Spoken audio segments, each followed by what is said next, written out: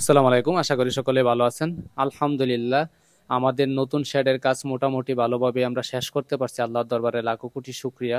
আলহামদুলিল্লাহ, আমাদের শেডের নেট লাগানো, চাল দেওয়া মোটামুটি সম্পূর্ণ হয়ে গেছে। আমরা ইতিমধ্যে অনেক ধরনের পাখি আমাদের নতুন শেডের ভিতরে ছেড়ে দিতেছি। আর শেড লাগা, শেডের কাজ শেষ হওয়ার পর পরই কিন্তু আমরা, আমি আমার নতুন খামারের জন্য তেরপাল নিয়ে আসছি। কারণ আমাদের ফার্মের ভিতরে যেতে ঝড় আসলে অথবা প্রচণ্ড শীতে কুয়াশা যেন করে আমার পাখিগুলোর ক্ষতি না করতে পারে, বৃষ্টি এবং কুয়াশা যেন ভিতরে না ঢুকতে পারে, এই কারণে আমরা নতুন করে তেরপাল নিয়ে আসছি। আর এই তেরপাল আনতে আমার প্রায় খরচ হয়ে গেছে চার হাজার টাকার উপরে। আমার এই জায়গায় মূলত প্রায় পঁচিশ গজ তেরপাল লাগছে চার হাজার টাকার উপরে, একশো পঁয়ষট্টি টাকা গজ নিয়েছে আমার কাছ থেকে। আর এই তেরপাল আনার পর আমি এটা আসলে কীভাবে বাঁধবো, এই অভিজ্ঞতাটা আমার ছিল না, বা আমার তেরপালটা বাঁধতে আমার কষ্ট হয়ে গেছে। আমি মূলত ইটের সুরপ্রি নিয়ে ওই তেরপালের ভিতরে পেঁয়াজ দিয়ে তারপরে সুতলিতে সুন্দর করে আটকে দিতেছি। যাতে করে এই নেটের যে বানটা দিচ্ছি, আমরা এই বানটা যাতে কোনোভাবে ফসকে না যায়, খুলে না যায় তেরপালটা। যেহেতু এই তেরপালটা কিন্তু অনেক ভারী, আমি এনামল দুজনে মিলে নাড়াইতে পারতেছিলাম না। অনেক ওজন, অনেক ওয়াইট আমাদের এই তেরপালটা। এবং বাজারে সবচেয়ে হেভি যে তেরপালটা পাইছি, আমরা ওই তেরপালটাই সংগ্রহ করার চেষ্টা করছি।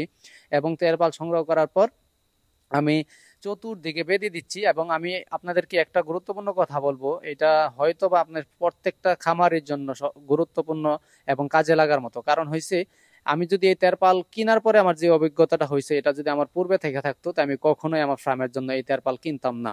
কারণ এই তেরপাল যখন আমরা এভাবে বাঁধলাম, বাঁধার পরে যখন এই তেরপালটা আমরা নাড়াচাড়া করতেছিলাম, তখন দেখতে পারতেছি যে আমরা আমরা তেরপাল নাড়াইতে পারতেছি না এবং তেরপাল যখন বৃষ্টি আসবে, তখন যে তেরপাল খুলতে হইব বা তার খোলার পরে যে আবার তেরপালটা নতুন করে উঠাইতে হইব, এই তেরপালটা নাড়াইতে গেলে আমাদের দুইজন লোক লাগবে। যখনই বৃষ্টি আসবে, তখনই কিন্তু দুইজন লোক, আর সবসময় খামারের ভিতরে দুইজন লোক থাকাও সম্ভব না।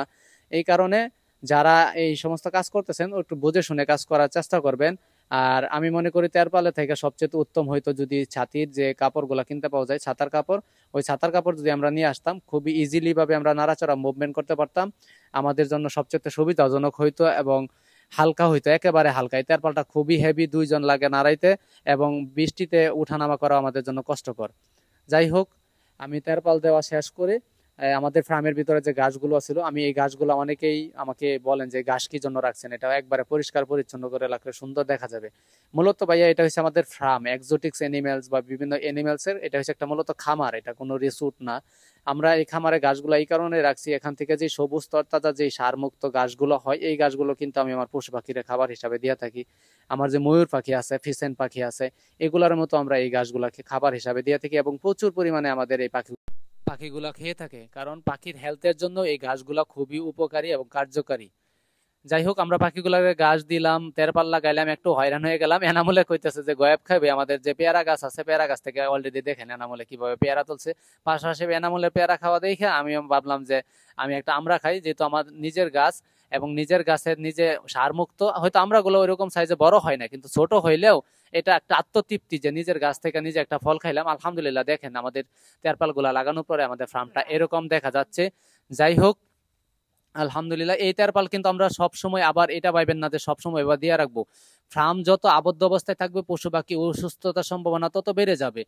আপনারা এই গুরুত্বপূর্ণ বিষয়গুলো হয়তো আমার ভিডিওতে আমি চেষ্টা করি তুলে ধরার জন্য যে এই সমস্যাগুলো আমার সম্মুখীন হই, এই ধাপগুলো আপনাদের মাঝে জানানোর চেষ্টা করি। কারও কাছে হয়তো ভালো লাগবে কথাগুলো, কারও কাছে ভালো লাগবে না। কিন্তু আমার যতটুকু দায়িত্ব আমি এতটুকু আপনাদের মাঝে তুলে ধরার চেষ্টা করি।